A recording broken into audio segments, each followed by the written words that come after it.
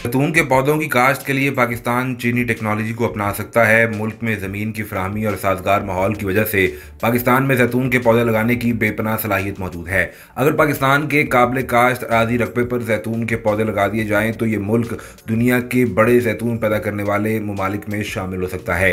माहरीन का यह ख्याल है कि पाकिस्तान जैतून के पौधों की काश्त के लिए जदीद तरीन चीनी टेक्नोलॉजी को अपना सकता है। चीन मुस्तबिल में पाकिस्तानी जैतून की पैदावार के लिए एक बड़ी मंडी साबित होगा। माहरीन के मुताबिक दोनों ममालिक के मबैन तजारती खसारे को कम करने में यह मददगार साबित हो सकता है।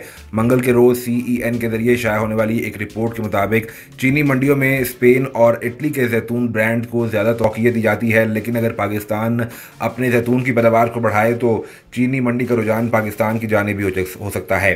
हुकूमत पाकिस्तान मुल्क में जैतून की काश्त में इजाफा कर रही है। वजी अजम इमरान खान की हुकूमत के टेन बिलियन सुनामी ट्री के इकदाम के तहत जैतून काश्त करना ऐसे मनसूबों में शामिल है, जिसका मकसद जैतून की मसनूआत में इजाफा करना आबो हवा की तब्दीली के असरा को कम करना और गुरबत को ख़ात्मे करने के अहकाम शामिल हैं।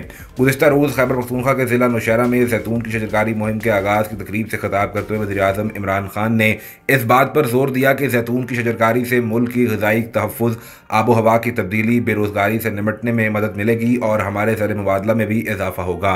सीनियर सूबाई अहदेदार ने बताया कि जैतून के दरख्त सुनामी न सिर्फ़ ज़मीन को सहरा में तब्दील होने से रोकेंगे, बल्कि सेहतमंद खुर्दनी तेल का कौमी वसाइल में इजाफा करेंगे। इस प्रोग्राम के तहत जैतून की मसनूआत तैयार करने के लिए खैबर पख्तूनखा में जैतून के चालीस लाख पौधे तैयार किए जाएँगे। नौशेरा के ओमानगढ़ में जैतून के पौधे लगाने के लिए सत्ताईस हेक्टेयर रकबे का इंतखब किया गया है। जबकि पाकिस्तान बैरून ममालिक से खुदनी तेल की मद में सालाना चार अरब डॉलर बाहर भिजवाता है। पाकिस्तान अगर अपना जैतून इस्तेमाल करना शुरू कर दे तो बरह रास्त चार अरब डॉलर की बचत भी हो सकती है।